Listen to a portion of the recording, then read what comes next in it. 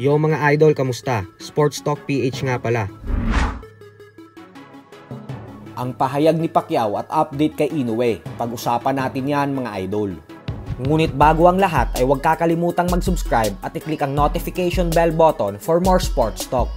Bago nga po lumaban kagabi ang undefeated top Pinoy prospect Carl James Martin, ay opisyal na itong pumirma sa MP Promotions ng ating pambansang kamaumani Pacquiao. Bukod dyan ay pumirma din si Wonderboy sa PBC Promotions at TGB Promotions, dalawa sa pinakamalakas na boxing promotion sa buong mundo.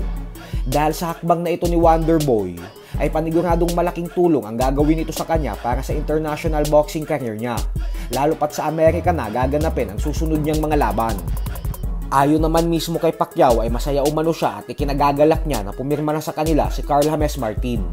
Habang si Martin naman ay sinabing dahil umano sa pagpirma niya sa PBC, TGB at MP Promotions, kaya naman isang napakalaking karangalan umano para sa kanya na makasama at maging stable mates ang ilan sa mga pinakamagagaling na boksingero ng bansang Pilipinas ngayon na sila Unified IBF and WBA Super Bantamweight World Champion Marlon Tapales, former WBC Featherweight World Champion Mark Magnifico Magsayo, former longtime IBF Super Flyweight World Champion Jerwin Angkahas, at former WBC Interim Bantamweight Champion Raymart Gabalio.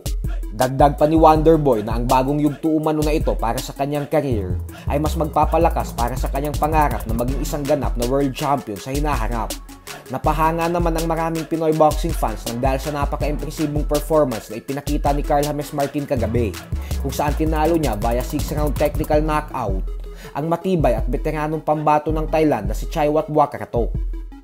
Kabilang banda naman mga idol ay saktong isang linggo na lang nga po at magaganap na ang undisputed title fight sa pagitan ni Marlon Tapales at ng undefeated 4 Division World Champion Japanese monster na Oya Inoue.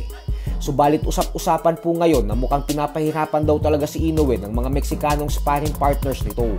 Ito po ay dahil sa latest public media workout ni Inoue ay kapansin-pansin na tila may nangingitim na pasa ito sa ilalim ng kaliwang mata isang senyales na napuruhan ito sa isa sa mga sparring session niya.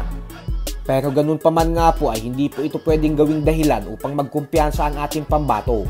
Dahil tandaan po natin na totoong purpose ng sparring ay upang i-improve ang mga kahinaan ng isang fighter. Yan ang dahilan kung bakit madaming kumakalat na sparring video sa Inoue kung saan parang nagpapabugbog ito. Ito po ay dahil mas nagfo-focus ang binansagang halimaw ng Japan sa depensa niya. Kung ina-knockout niya kasi ang mga sparring partners niya, ay wala na siyang matututunan at parang mababaliwala ang kanyang mga ensayo.